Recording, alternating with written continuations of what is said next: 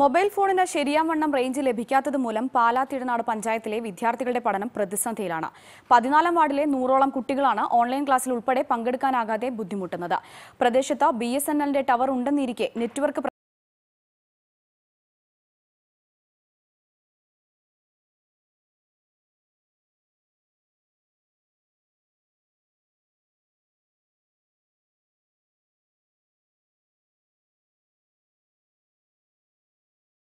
കഴിഞ്ഞിട്ട് മൊബൈലിൽ മതിമറന്ന് കളിക്കുന്ന കുട്ടികളുടെ ദൃശ്യമല്ല നാം ഈ കാണുന്നത്. പകരം ഓൺലൈൻ പഠനത്തിനായി മൊബൈൽ റേഞ്ച് തേടിയുള്ള കുരുന്നുകളുടെ നെട്ടോട്ടമാണിത്. പാല തിടനാട് പഞ്ചായത്തിലെ പതിനാലാം വാർഡിൽ മൂന്നാം തൊട്ടിലെ നൂറോളം വരുന്ന വിദ്യാർത്ഥികൾക്കാണ് ഈ ദുരവസ്ഥ. ഓൺലൈൻ ക്ലാസ് കൂടാൻ ഒട്ടും റേഞ്ച് ഇല്ല.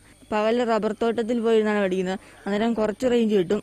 എന്തായാലും തീരെ കുറവാണ്. രാത്രികാലങ്ങളിലെ പഠനമാണ് ഏറെ ബുദ്ധിമുട്ട്. ഈ നേരം കുട്ടികൾക്ക് പുറത്തു പോയിരുന്ന് പഠിക്കാനാക്കില്ല അതിനാൽ ക്ലാസ്സുകൾ തന്നെ നഷ്ടമാകുന്ന അവസ്ഥയാണ്. പകലൊക്കെ ആണെങ്കിൽ വെളിയിൽ എവിടെയെങ്കിലും പോയിരിക്കുമ്പോൾ വെളിയിൽ പോകുമ്പം എന്തെങ്കിലും ഡൗൺലോഡ് ചെയ്തെടുക്കും. വീട്ടിൽ ഇരുന്ന് ഒട്ടും കിട്ടത്തില്ല നെറ്റ്.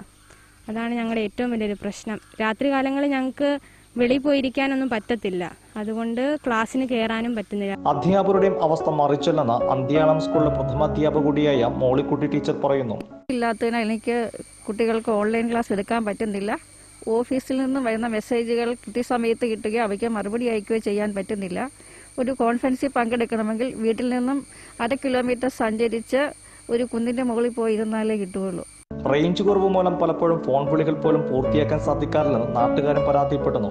എത്രയും പെട്ടെന്ന് ബന്ധപ്പെട്ട അധികാരികൾ ഇടപെട്ട് കുട്ടികളുടെ പഠനത്തിലെ പ്രതിസന്ധി പരിഹരിക്കാനുള്ള നടപടി സ്വീകരിക്കണമെന്ന ആവശ്യമാണ് ഉയരുന്നത്.